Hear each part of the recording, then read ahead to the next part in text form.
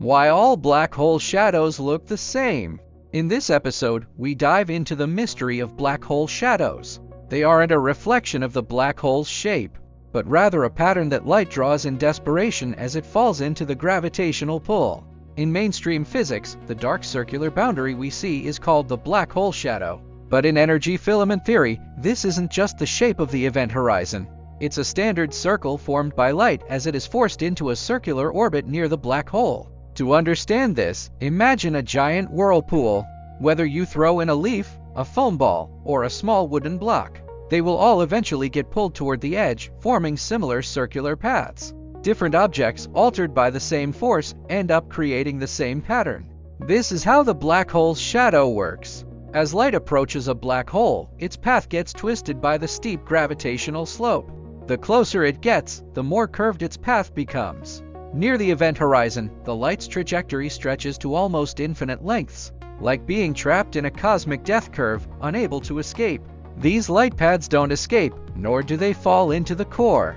They stay in a narrow region, oscillating, weakening, and spiraling. From a distance, this forms a fixed dark ring. The bright light stays on the outside, while the trapped light all falls into the same dark circle. This creates the uniform appearance of the black hole shadow. Why do all black hole shadows look like they come from the same mold? It's because the shape of the shadow isn't determined by the size, age, or material of the black hole, but by the critical curvature of the gravitational slope. Once the curvature reaches a black hole level, the light's critical orbit naturally converges into nearly identical proportions, much like any funnel, regardless of size, maintaining a similar shape.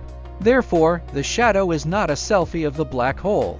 It's the trace that light is forced to leave behind in the extreme gravitational field. The more extreme the black hole, the more obedient the light becomes, and the more standard the shadow looks.